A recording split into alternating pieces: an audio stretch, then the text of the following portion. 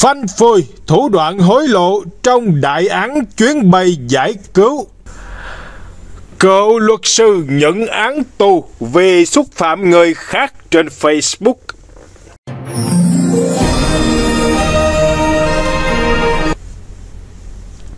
Phanh phui thủ đoạn hối lộ trong đại án chuyến bay giải cứu.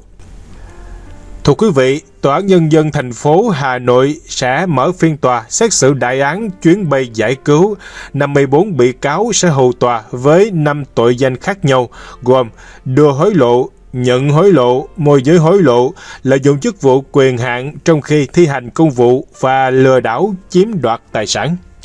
Trong số này, 21 người cùng bị truy tố về tội nhận hối lộ, trong đó có 18 người đối diện khung hình phạt cao nhất đến tử hình, gồm Tô Anh Dũng, cựu Thứ trưởng Bộ Ngoại giao, Nguyễn Quang Linh, cựu trợ lý Phó Thủ tướng, Nguyễn Thị Hương Lan, cựu Cục trưởng Cục lãnh sự Bộ Ngoại giao, Phạm Trung Kiên, cựu Thư ký Thứ trưởng Bộ Y tế, Trần Văn Tân, cựu Phó Chủ tịch Ủy ban Nhân dân tỉnh Quảng Nam, Chữ Xuân Dũng, cựu Phó Chủ tịch Ủy ban Nhân dân thành phố Hà Nội.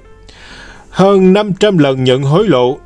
cáo trạng xác định đầu năm 2020, dịch Covid-19 bùng phát tại Trung Quốc rồi nhanh chóng lan rộng ra toàn thế giới. Thời điểm này, rất nhiều công dân Việt Nam đang mắc kẹt tại nước ngoài và có nhu cầu về nước. Chính phủ lần lượt tổ chức các chuyến bay giải cứu, chỉ thu phí với máy bay cách ly và chuyến bay combo trả phí toàn bộ nhằm đáp ứng nhu cầu của người dân. Để triển khai, năm bộ ngành được giao trọng trách phối hợp. Văn phòng Chính phủ tập hợp tham mưu đề xuất lãnh đạo Chính phủ phê duyệt kế hoạch tổ chức chuyến bay. Bộ Y tế, Bộ Giao thông Vận tải, Bộ Công an và Bộ Quốc phòng cho ý kiến phê duyệt chuyến bay. Bộ Ngoại giao chủ trì xin ý kiến và thống nhất với các bộ, sau đó báo cáo lãnh đạo Chính phủ xây dựng đề xuất kế hoạch chuyến bay lợi dụng quy trình thực hiện và vị trí công việc nắm giữ, hàng loạt lãnh đạo, cán bộ thuộc các bộ ngành nêu trên đã nhận tiền để ưu ái cho doanh nghiệp quen biết khi cấp phép chuyến bay. Kết quả điều tra phát hiện 21 bị cáo phạm tội nhận hối lộ với hơn 500 lần cầm tiền, tổng cộng gần 165 tỷ đồng. Trong đó Tô Anh Dũng nhận 21,5 tỷ đồng, Nguyễn Quang Linh nhận hơn 4,2 tỷ đồng, Nguyễn Thị Hương Lan nhận hơn 25 tỷ đồng, Phạm Trung Kiên nhận hơn 42,6 tỷ đồng.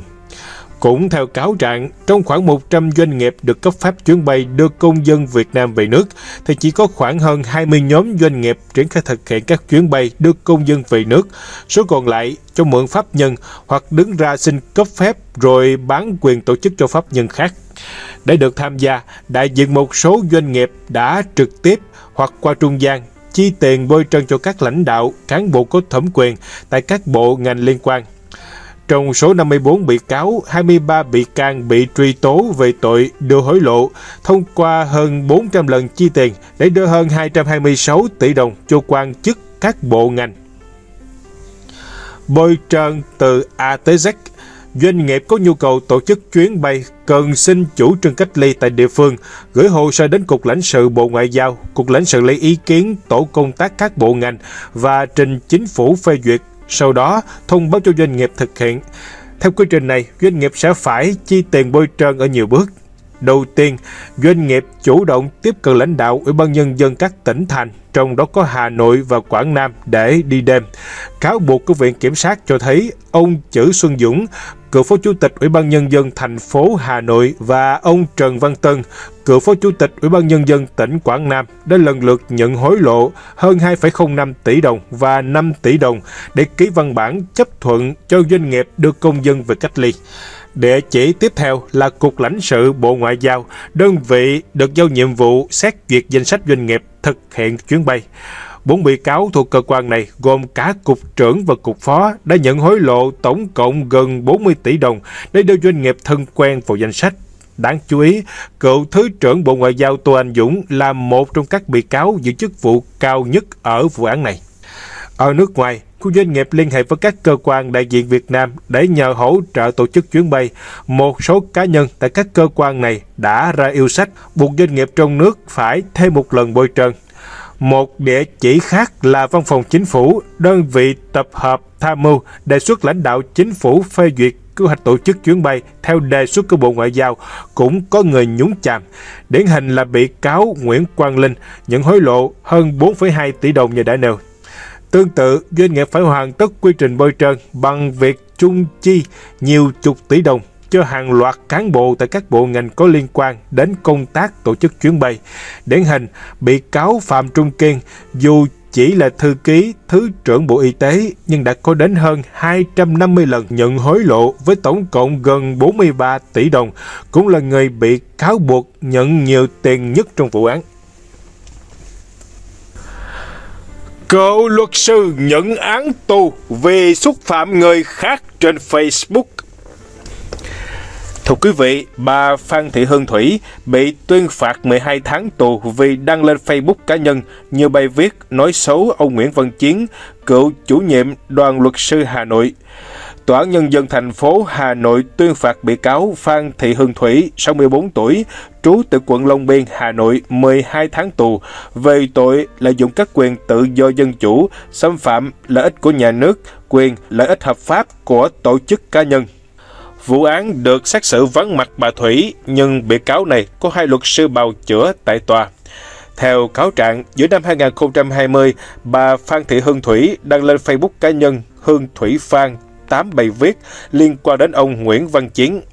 Ông Chiến khi đó là đại biểu Quốc hội, Phó Chủ tịch Liên đoàn Luật sư Việt Nam, chủ nhiệm đoàn luật sư thành phố Hà Nội.